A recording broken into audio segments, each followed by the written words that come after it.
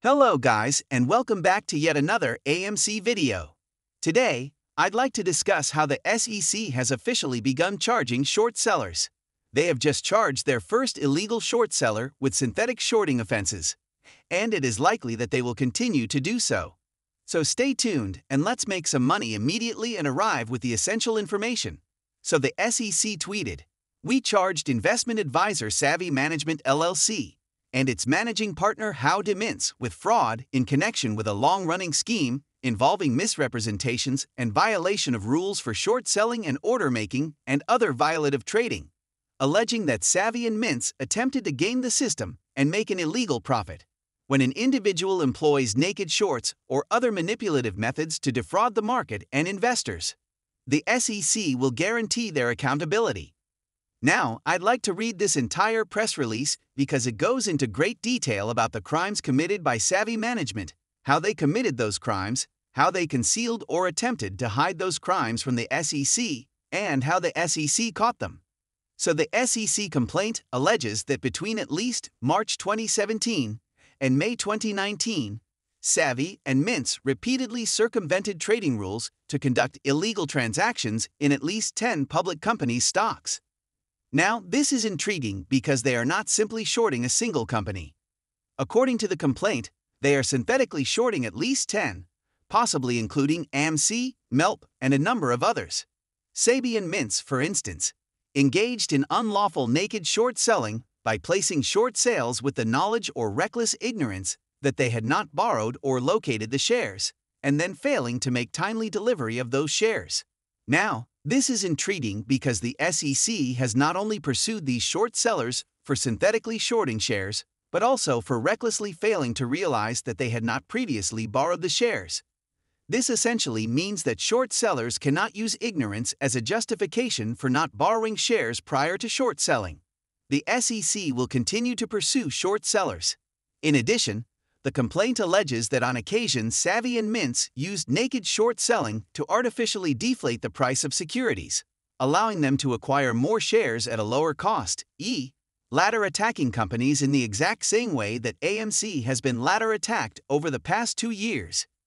Yes, he acknowledges that the complaint alleges Sabby and Mintz attempted to conceal their fraudulent trading, including by using securities acquired after the trades to make it appear to brokers executing those trades that they had complied with the requirements to have borrowed or located the shares prior to their trades.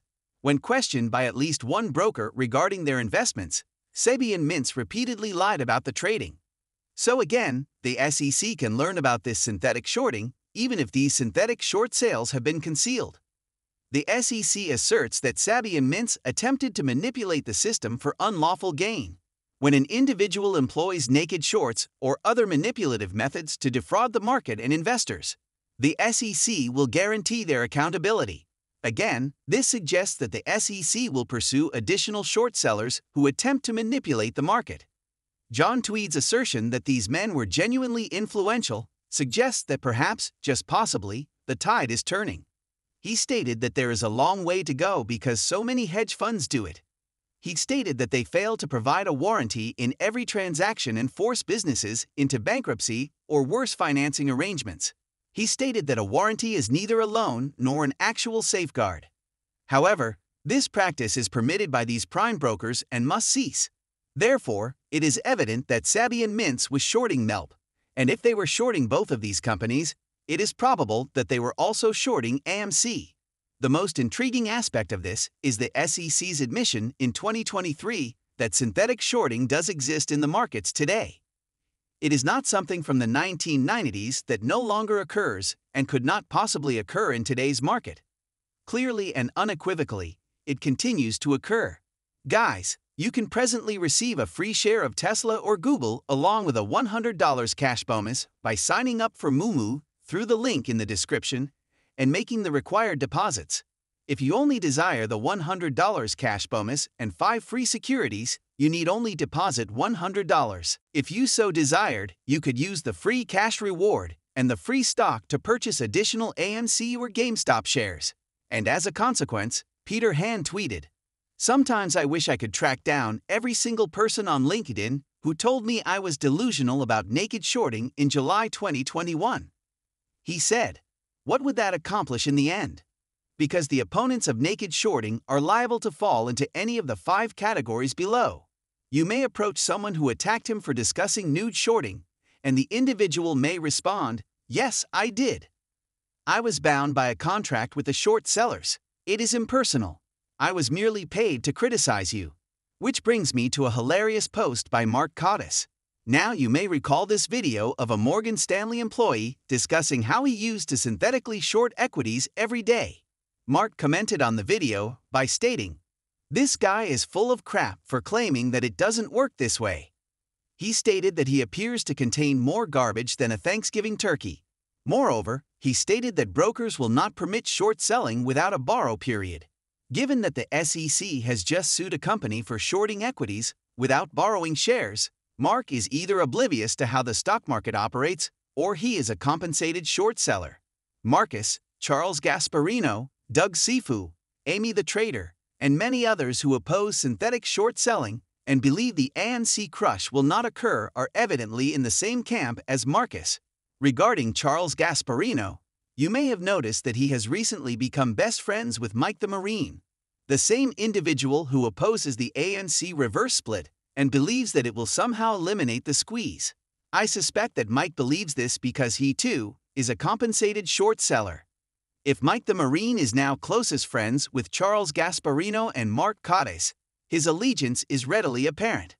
Spence, however, is an intriguing figure who appears to be altering their tune. He tweeted, I believe the ape transformation will generate massive, massive volatility. I anticipate that more synthetic short sellers will be charged in the future weeks and months, either by the SEC or the Department of Justice.